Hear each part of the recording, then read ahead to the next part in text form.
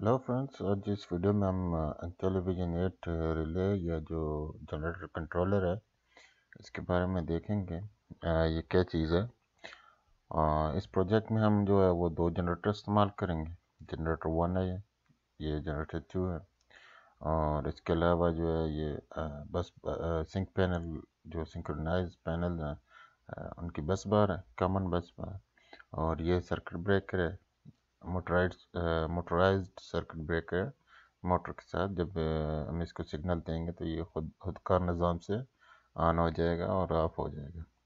اسی طرح uh, دوسرا uh, سرکٹ بریکر ہے اور یہ ہماری جو جنریٹر سے سنک پینل کی طرف جو کیبلیں جا رہی ہیں وہ ہوں گی اور یہ جو چھوٹی ہے یہ یہ بھی three phase three core three phase cable ہے۔ تین فیز یہاں سے جنریٹر جنریٹر سے جو تین فیز ہیں وہ ریلے کے ایک طرف جا رہے ہیں جبکہ یہ ریلے کی دوسری طرف بس بار ہیں۔ یہ ایسے کیوں یہ آگے جا کر ڈیٹیل سے دیکھیں گے۔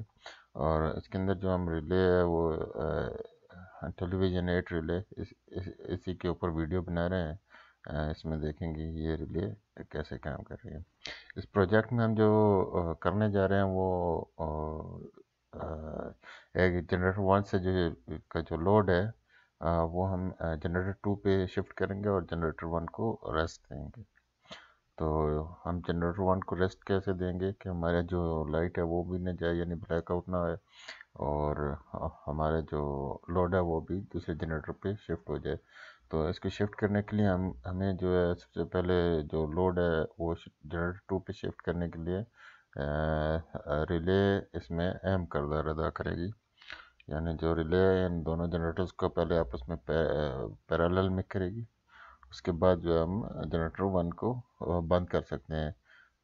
ایسا تو نہیں ہے کہ ہم جو ہے جنریٹر ون کو ریسٹ دینا ہے تو جنریٹر ٹو جو ہے، وہ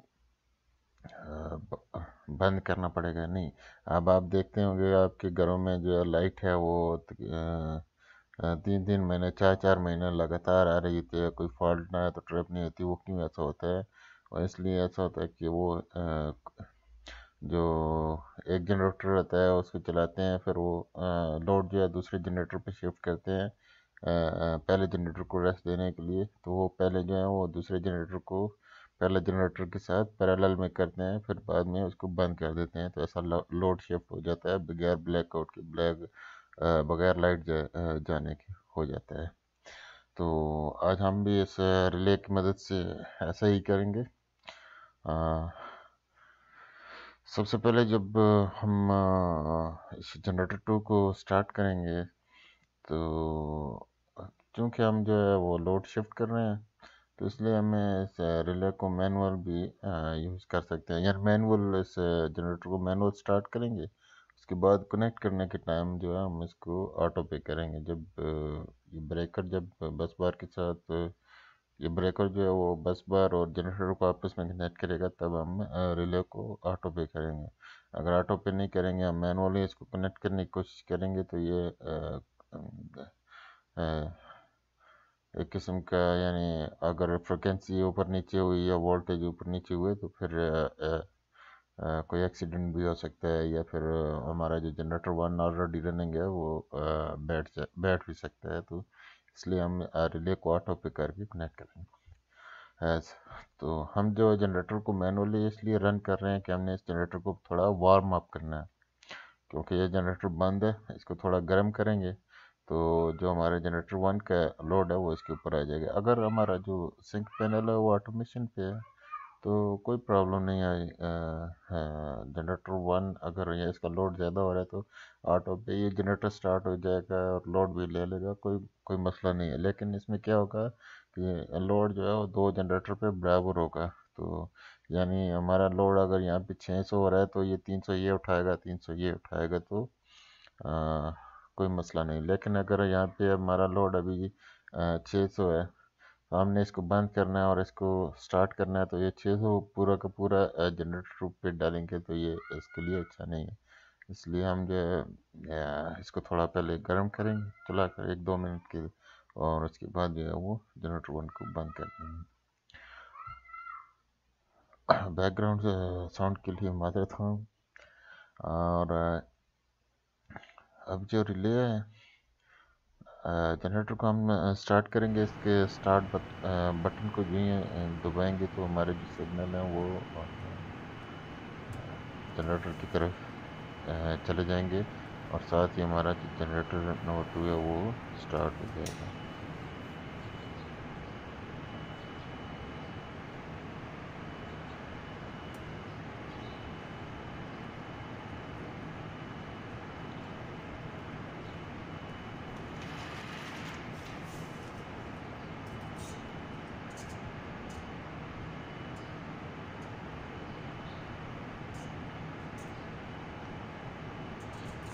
ہم نے یہاں سے اسٹارٹ بٹن کو دبایا تو جنریٹر اسٹارٹ ہوا اور ہماری جو وولٹیج ہیں وہ سرکٹ بریکر تک آ گئے ہیں۔ لیکن سرکٹ بریکر ابھی کنیکٹ نہیں ہے کیوں کیونکہ ہم نے ریلے کو مینول پہ رکھا ہوا ہے۔ جو ہی ہم اس کو آٹو پہ کریں گے تو یہ سنک کرنا شروع کر دے گی اور سنک کرنے کے بعد ہمارے بریکر کو کنیکٹ کریں گے۔ اب ہم جب دیکھ رہے ہیں کہ ہمارا جو جنریٹر ہے وہ وارم اپ ہو گیا تو ہم ریلے کو جو ہے وہ آٹو پک کریں گے آٹو پک کیا تو اس نے جو ہے وہ سنکرونائزنگ شروع کر دی ہے جو ابھی وولٹیج کو اور فرکنسی کو دیکھے گی جب دونوں چیزیں میچ کر دیں گی تو یہ ریلے جو ہے وہ بریکر کو سگنل دے گی اور بریکر کو آن کر دے گی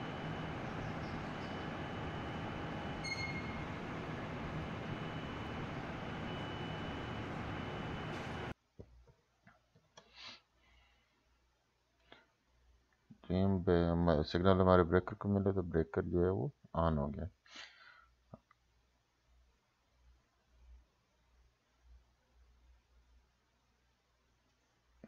اب دونوں جنریٹر جو ہیں وہ ہمارے سسٹم کے ساتھ جڑ چکے ہیں۔ جنریٹر ون اور جنریٹر ٹو جو ہے وہ دونوں بس پار کے ساتھ کنیکٹڈ نہیں یعنی دونوں لوڈیڈ ہیں۔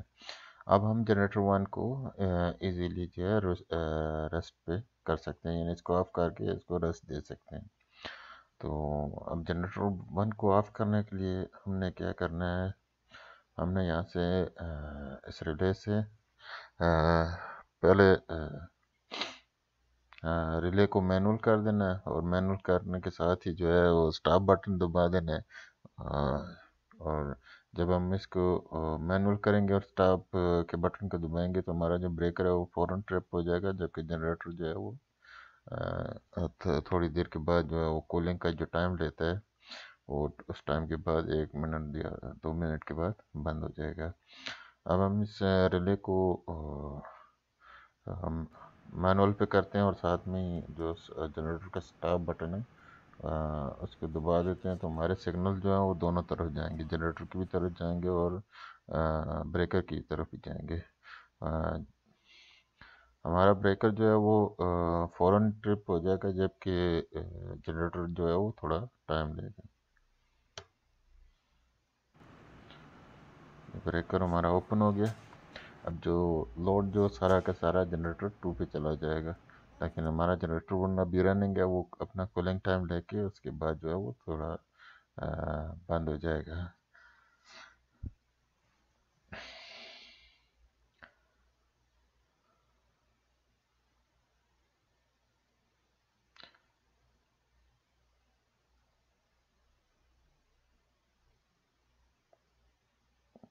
جنریٹر ون ابھی ہمارا ایک طرح سے؟ بند ہو گیا۔ ہے